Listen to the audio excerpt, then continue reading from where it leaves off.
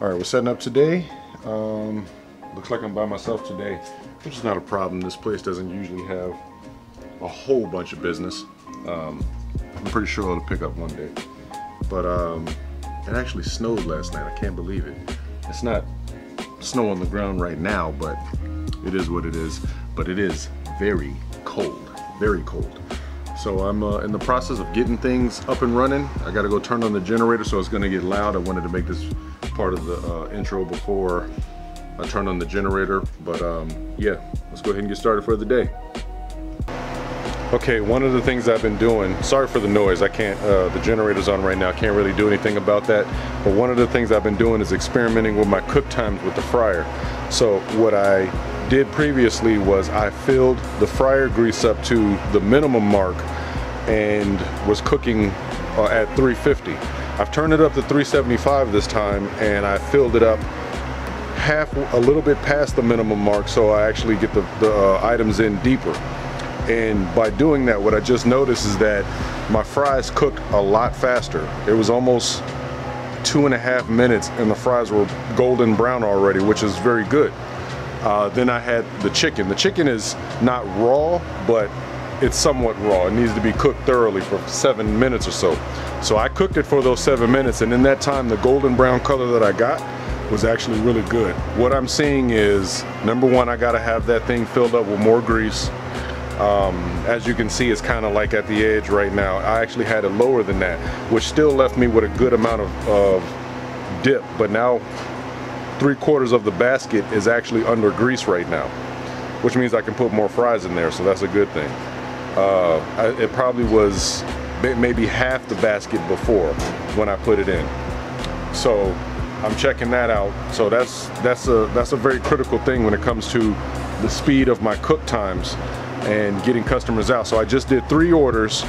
Uh, all three of them had fries. There was two hamburgers and one chicken nugget and the time that it took to do that seemed extremely fast but everything was cooked thoroughly and I actually let the chicken nuggets sit in longer than I normally do and got them even more golden brown.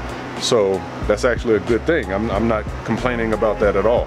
The last time I worked in a fast food restaurant was in excess of 20 years ago.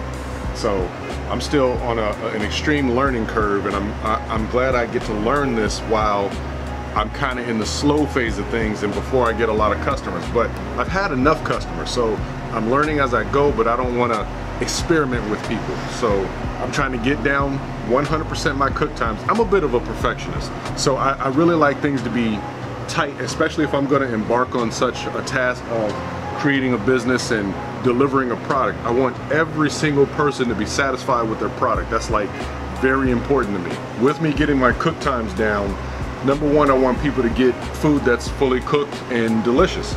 So I, I, do buy slightly higher quality products. I don't like getting the bottom of the barrel stuff. I actually just upgraded my fries. I was getting a, the cheapest fry, which they're not that cheap, but there's the, the cheapest one on the shelf, but I've just upgraded to a one that's $3 more. And I can tell the difference already in the way the fries cook, the way they look, uh, and the crispness of them. So uh, I actually enjoy them a little bit more. Not that I didn't enjoy the first set of fries, I just enjoy these a little bit more. I like to deliver a high quality product and on time. I don't want people waiting 15 minutes uh, when you got a line of five, six people. That gets very frustrating, especially when you think about it. People are at lunch, so they want to get their food so they can go sit down and actually enjoy their lunch, hop on the phone, maybe watch a little Office or something like that. You know, uh, I want people to be able to get their food, it's cooked correct, um, it tastes delicious, they, they have enough food, and boom, you know, they're, they're coming back every time I come through. That's, that's the goal. So we just gotta, you know, keep working at it, keep perfecting the process, and I'm gonna take you guys along for the ride. What I'm gonna have to do is put a bucket down below or something because I keep dropping fries down here. So when I'm taking the fries out the strainer and putting them over here, I always drop one or two fries down in this area and it ends up being a lot. Um, you seen the pile from the video before, but I also see a liquid that I gotta get up down there. I gotta, that's that oil that I see spilling. But um, yes, I, I got to do something about the fries that keep dropping in between here. I might just put a bucket on the ground, a long bucket on the ground, something that just catches the fries. Uh, just stops making a mess, basically. There are some things that uh, I think about on a regular basis. One being uh, the trajectory of this channel and what I want to do going forward with it, the content I want to present to the world. Uh, number two, I really want to show uh, the ins and outs of starting manufacturing, starting and maintaining uh, a business on, you know, the, and there's different levels of success in my book.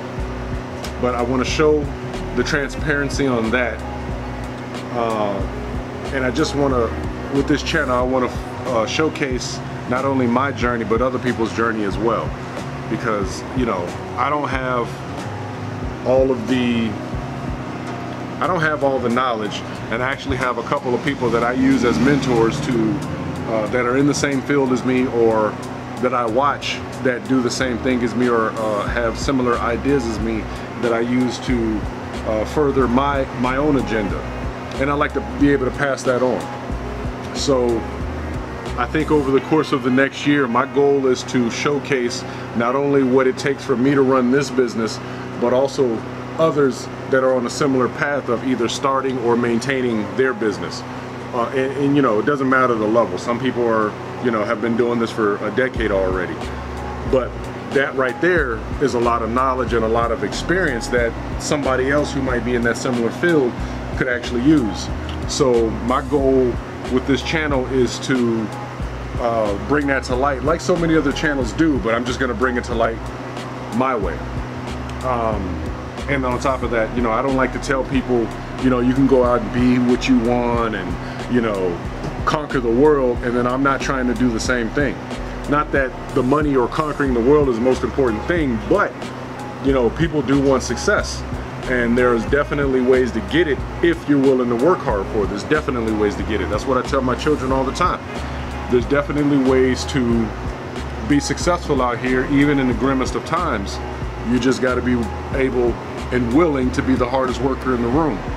Um, and you know, this lunch truck thing, this this is not an easy easy gig. This is a this is a daily grind, and it's a hard daily grind. And I knew that when I decided to build this trailer and get into it. I knew that. So here I am now, and what I already knew was coming to life. It is a daily grind. It's a hard grind. Uh, there's a lot to it. There's a lot of money that you're going to lose in it. Um, like for instance, I probably won't turn a profit till maybe the end of the summer. Uh, an actual profit. Uh, I'm in the hole thousands and thousands of dollars, so it's going to take thousands of thousands of dollars to, to, climb up to actually say, hey, I made some money. So let's say I, I even, let's say uh, I have a good week. I make $3,000 in a week that just goes to the negative. That that uh, starts to pull me out the hole. That doesn't mean I got you know three grand to spend and go play with. No, there's a, a whole back end uh, of things that need to be paid for to make sure this truck stays run, this trailer stays running, and even the truck. So that's just some of the things, the ins and outs that I want to showcase on this channel, uh, so people don't get so uh, disillusioned with success and that it's gonna come easy and all you got to do is you know have the money to start it as if there's no back end to the hard work that you're going to have to put in later which there is. There's a there's a, a, a upside and a downside to everything. And to me anyway the upsides always outweigh the downsides if I choose to take that path to get in it. So this is just a, a another thing this channel does. It's uh, a chronological time frame of the things that I've done and my children can go back and look on it and even grandchildren can go back and look on it and say, hey, if I work hard like he did, and anybody can see this, if I work hard like he did, I can achieve the successes that I want. So that's very important to me. That's what uh, this channel is gonna end up being about. I got some great ideas for this channel and I can't wait to put them out. I just gotta take it one step at a time so I don't overload myself with so many things. This is already a task in itself. I built it, that was a task.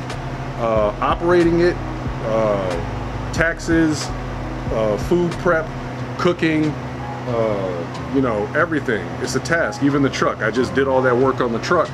You know, that's that wasn't just for the fun of it. That's because I need that truck to stay on the road. I needed to stay on the road. I needed to stay in operation because if that goes in, out of operation, then I'm looking at a different problem. I don't want that problem. So therefore, you know, I, I put that work in. That's all it takes is a little work. Okay, you got the uh, french fries cooking. And this uh, particular individual ordered some chicken wings. Okay, so you see how much deeper they are? That's what I was talking about. Uh, the chicken is so much deeper, so it actually um, cooks them a lot better because it's deeper inside the grease. And here's what the order looks like. Let me see if I can focus on it. There we go. So it says that he has barbecue wings, five wings. This is a combo. It says combo on it. So once the order finishes, all I got to do is hit the top of the order and it goes away. So it'll keep order uh, adding on. I think it's two rows. I haven't got to two rows yet, but see how much faster they cook? Look, they're already getting golden brown. Yeah, look at that. Yeah, I, I, was messing up by not putting enough grease in this thing. I can see that. Oh yeah, yeah, that, that cooks a lot faster with more grease I'm new to this, so I'm learning. We're gonna we're gonna get it right though.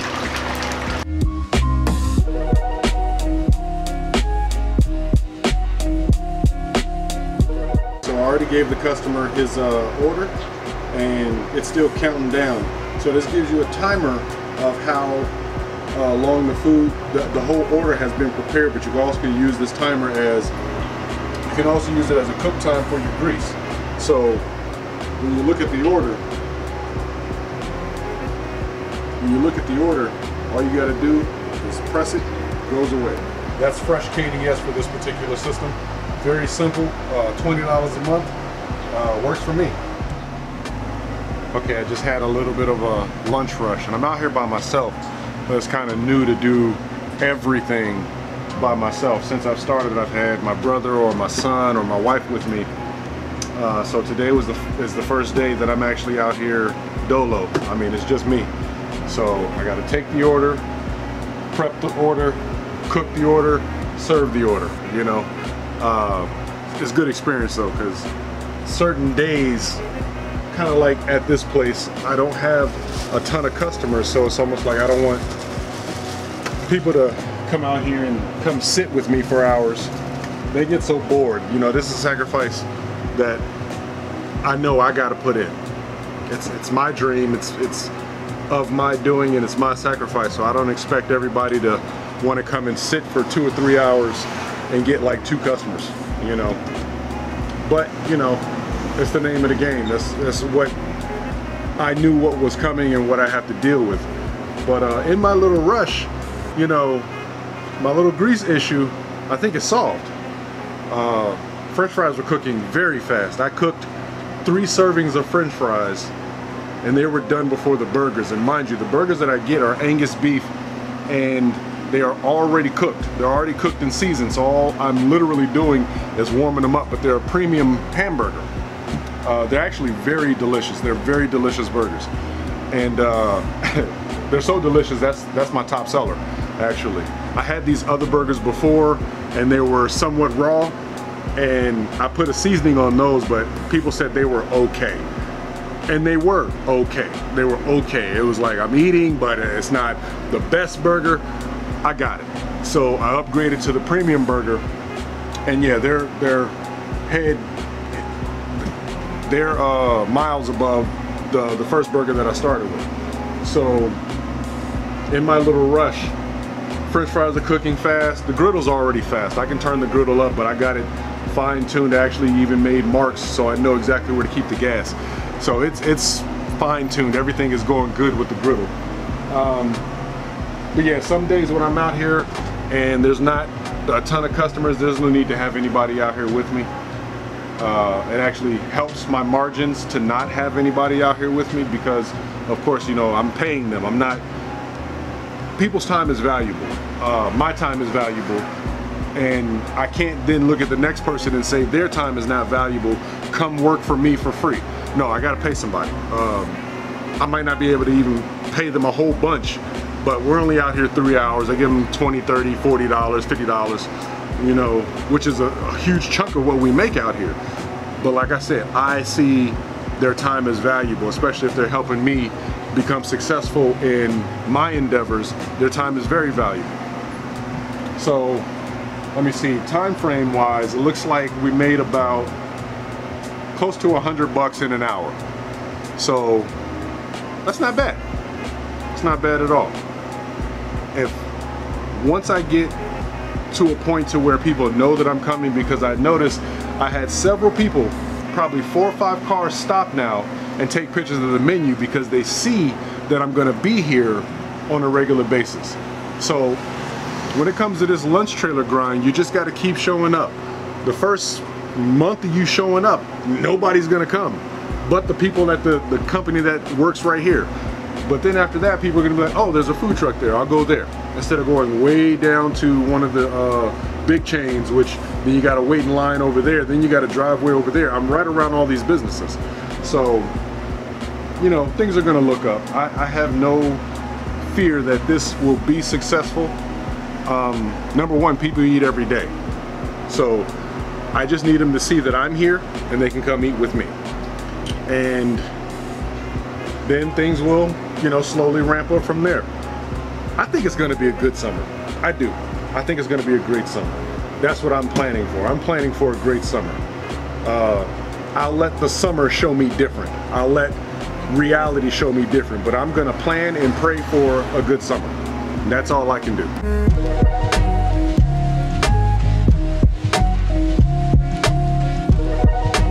All right, so I'm at the end of my day and, uh, well, middle of the day. I'm shutting down at two. Uh, what I'm trying to do is tighten up my times. There's no need to sit at a location for four or five hours waiting for one or person, one or one or person.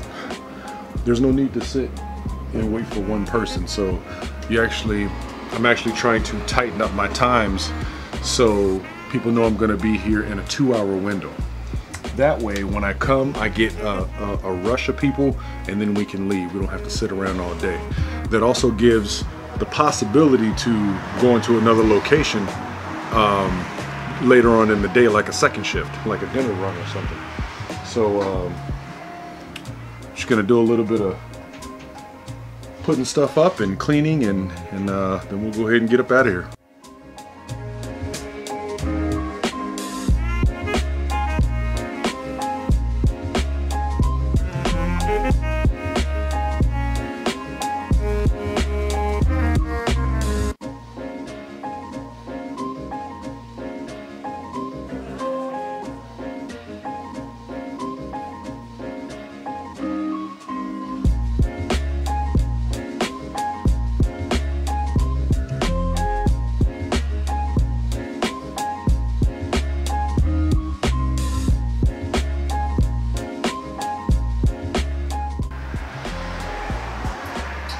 Alright, so what I do is I let this cool off about 20 minutes and then I pour it into my actual uh, holding container and I purchase that strainer so when I pour it in there, any debris that's in there is going to be left on top of the strainer. It actually strains it really good.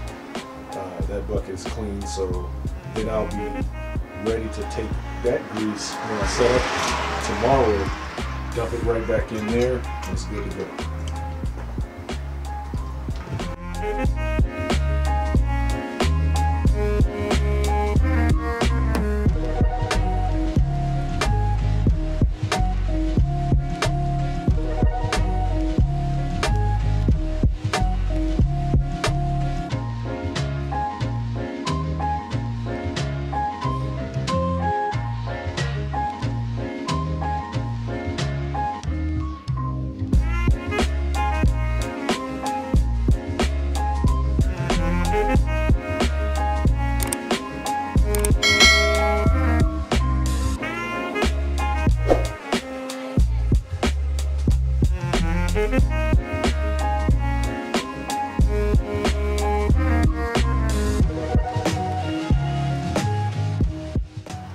So I'm pretty much done for the day. The last thing I got to do is put the generator up.